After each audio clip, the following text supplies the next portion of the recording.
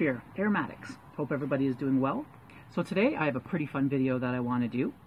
Now, a while back, while back, it was suggested to me that I stove a particular Red Virginia, and that this Red Virginia, when stoved, is pretty tasty. And that Red Virginia is Sutliff's RC515. It's a bulk Red Virginia. It's pretty popular. Uh, it's pretty new and is pretty popular right now. And it's on its own, it's a little bit kind of generic. I, I, kind of enjoyed it at first, but then there was some other Red Virginias that I found that I just I have plenty of, so I just don't really smoke a lot of the RC515. But I have uh, quite a bit of it around in my cellar, so I thought I'll take some of it and I'll stove it and see what I think. So I did that very thing, and I have my two containers right here. Now I was hoping I could show you on the video the difference in color, but the stoved is quite a bit or noticeably different than the unstoved RC515. Maybe I can show you a picture here. We'll see if it comes out in my editing. So you can see the difference. So yes, I stoved it and um, now you're supposed to, I just did that maybe two weeks ago and you're supposed to let it sit. Well, they recommended that you let it sit for about six weeks or so. So I haven't done that, but as soon as I stoved it, I took out uh, a, a fairly large sample, set it aside, so that I could just do this video. Now I can do another video later if I smoke the, the aged stoved Virginia and there's a difference. Then I'll, I'll maybe do another video and let you know what the, the difference is. But I kind of was really curious and I wanted to try it right away. So that's what I'm going to be doing right now and comparing that stoved Virginia to the regular. So I've got two pipes packed up, two identical Bulldog cob pipes. And this one has the regular unstoved and this one has the stoved. I've been smoking them a little bit. Uh, I have I smoked the unstoved a little while ago and I wish I would have wrote stuff down because I was getting flavors that I haven't I haven't been picking out this time but I can't remember what those flavors are but uh, I'll still give you what opinion I have and what I am pulling out of these. So okay let's uh, light up the uh, the original unstoved see what we're getting.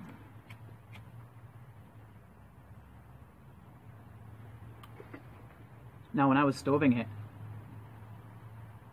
it gave off a really wonderful smell. They, the Herfers said it would smell like bread, like home, homemade bread. I do agree it smelled paste like like a pastry, but almost like a cherry, cherry apple turnover. Very sweet. Now, the smell of the original 515 is really tangy and uh, to me it's vinegar. Then you get you get the tobacco, kind of an earthy, kind of a hay smell. Now, I don't want to open this jar, but my sample that I smelled is the vinegar is pretty much gone, and you're basically getting a leafy, fresh fresh leaves and uh, a little bit of a hay with a little bit of a just a slight tang and earthiness. The stoving pretty much gets rid of that that vinegar tang.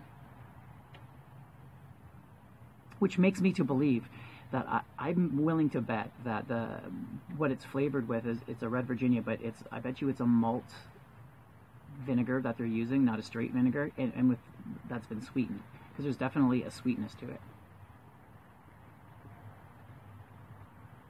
Howdy. I see you're into pipe. Are you into cohibas, like uh, Cuban cigars? Yeah. okay, I'm back. Uh, one of uh, a guy that was walking down the road. I think he's a neighbor that lives further up. Just um, called over to me and he was saying, you know, I see you smoke pipe a lot. Do you like cohibas? And I'm like, well, I love cigars and I like cohibas. So he calls me over and uh, anyway, he says he goes to Cuba, and he, says, "Yeah, I got these Cubas, and uh, Cuba, uh, these Cohibas." So there you go. But I'm pretty uh, sure that those are fake. Look at the band right there. It looks pretty, uh, pretty sketchy. So anyway, I, I, asked him if they're real, and he's like, "Oh yeah, they they already know security and stuff like that." But uh, yeah, but still, I'll, maybe I'll cut a little piece off the end and see what's inside of it and and see what I think, but that was kind of random. So anyway, back to my review.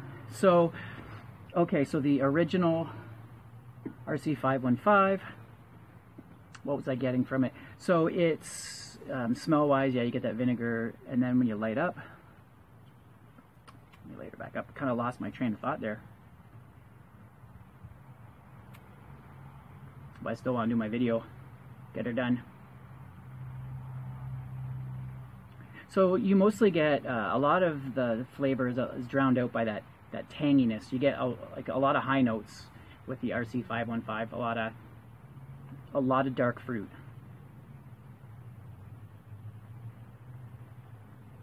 and a little bit of sourdough bread, but mostly you're getting the the high ends, like the dark, the the fruit, the vinegar. I've dried mine almost crispy, so a lot of that vinegar has dissipated. But if you smoke this with any kind of moisture in it at all, you're going to get a little bit more of that tang and vinegar, and then you get the after that you kind of get that the stone fruits and the kind of the cherry, and then after that you get a little bit of that sourdough bread.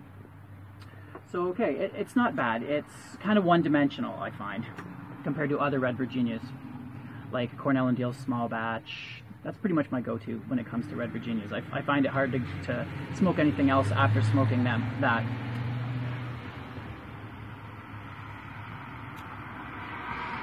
Okay, the stove.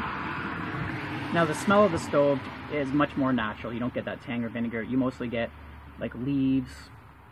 Um, you get more of a hay and grass that you would get from a, a Virginia.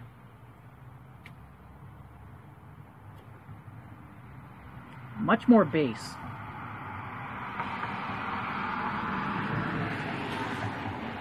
Getting a, a lot more earth.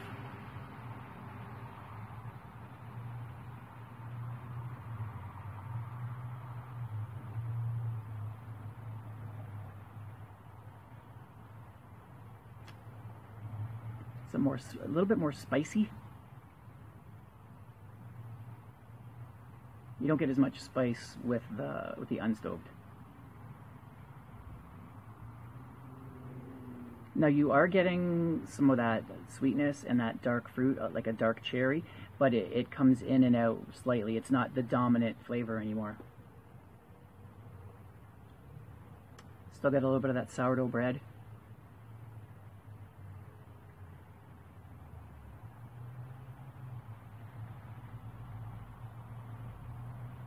Just a darker, toastier overall flavor and, and stronger. And it gets strong, the stove version gets strong almost to the point of it's almost acrid towards the bottom from what I remember on my last bowl.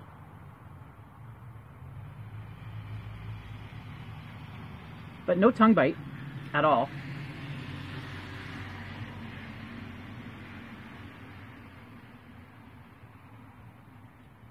But yeah, I have to say that the stoving, it, it doesn't at least the amount of stoving that I did, it doesn't totally, you know, just mute all the flavors. It actually, I think, evens it out. So now you, are getting those complexities that you wouldn't get with before stoving it because of that tang that's just punching you in the face the whole time.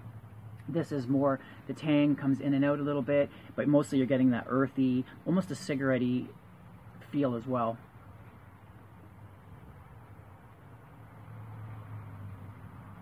Um, I was told there's a cr more creaminess to it, maybe with more moisture. This is dry. I dry my tobacco pretty, almost crispy dry, so it's probably a little more harsh than the normal person would um, would get out of it. So I don't find it really any smoother, but I would say much much better. I I, I could see myself smoking this stove version when I just want something different from the other red like from the other red Virginias. I'd actually smoke it now instead of being, you know, desperate for something, you know, if I'm desperate for something different, that's when I would maybe go for the RC515. But now this is something I could actually see myself smoking on, on a regular basis when I just want something other than my Carolina Red Flake. So thanks a lot to the Herfers for suggesting uh, stoving this. It, it, was a it was a fun project to do and easy, and it gave me uh, another another you know uh, I can use the tobaccos that I normally wouldn't get as much use out of. So thanks again. I hope you guys enjoyed my video and we'll see you on my next one. So till then, take care. AromatiX signing out.